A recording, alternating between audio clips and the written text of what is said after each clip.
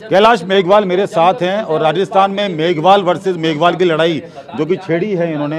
एक बड़े आरोप लगाए हैं कानून मंत्री पर। आपने अर्जुन राम मेघवाल पे एक बड़ी प्रेस कॉन्फ्रेंस भी की है।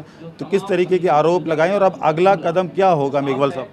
मेरा अगला कदम होगा जो आरोप लगाए हैं उनकी पुष्टि में जो भी कार्रवाई हो सके उसमें मैं हमेशा करने का प्रयत्न करूँगा। और मेरी राजनीति अब क्या होगी जो मैं अपने मित्रों से और शुभ चिंतकों से मिलकर तय करूँगा। लेकिन अर्जुन राम मेघवाल जी के लिए आपने कहा है कि उन्होंने जो एफिडेविट दिया था 2014 और 2019 के चुनाव में वो गलत था। उसमें केसों का भी जो है ज़िक्र किया गया था लेकिन इन्होंने जो लिख के दिया है कि उनके ऊपर कोई केस नहीं है। ये गलत है ना यही तो मैं कह रहा हूँ। उस कॉलम में इन्होंने कह- दिया कि लागू ही नहीं होता इसमें है सारे देख लो आप। दोनों दोनों बार की एफिडेविट है मेरे पास दोनों बार की एफिडेविट है। जो उनसे पूछा गया कोई मामला लंबित है कि लागू नहीं होता? लागू नहीं होने का मतलब? आपने चिट्ठी भी लिखी है? हाँ चिट्ठी लिखी है ना। ये ये प्रधानमंत्री को लिखी है। तो क्या चुनाव आयोग को भी चिट्ठी लिखी है आपने? है? अब लिखूँगा। क्या मांगेंगे? क्या मांग रखी है? उनसे मांग करूँगा कि ये झूठे एफिडेविट दिए हैं इसलिए इनकी लोकसभा की सदस्यता खत्म की जाए और इनके ऊपर फौजदारी मुकदमा लागू किया जाए। एक कैलाश मेघवाल जी एक आपने आरोप लगाए हैं कि भाजपा में जो कई नेता हैं वो बाहर से आए हैं। यानी कि आयातित नेता आपने बोला, आयातित नेता शब्द बोला है। कौन कौन से नेता हैं भाई, ये सीपी जोशी ये कांग्रेस के एन का, वो एक्टिविस्ट था। फिर इसके बाद एन से अपने कॉलेज में उपाध्यक्ष भी बना, अध्यक्ष भी बना और भारतीय जनता पार्टी के उम्मीदवार को हरा करके और ये उप प्रधान भी बना और वो अब इधर आ गया सुविधा की राजनीति से।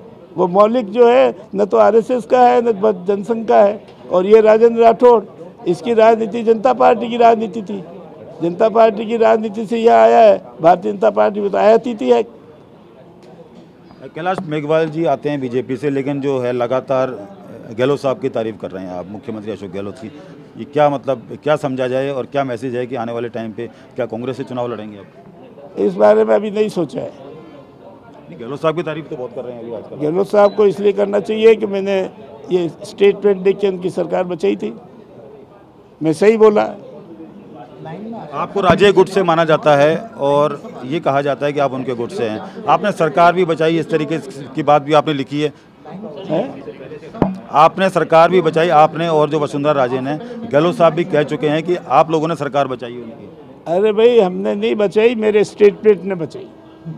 मेरा स्टेटमेंट है कि खरीद फरोख्त करके और विधायकों का दल बदल करवा के करना राजनीति नहीं है ऐसा नहीं होना चाहिए।